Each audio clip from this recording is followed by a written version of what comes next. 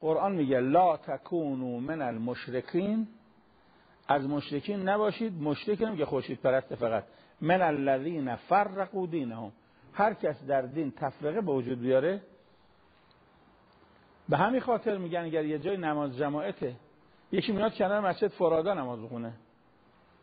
نماز اون گیر داره. چون اون نماز فرادا یعنی چه؟ یعنی آقا من قبولت ندارم. یعنی امت اسلامی کلتون قبول ندارم. نمازش گیر داره.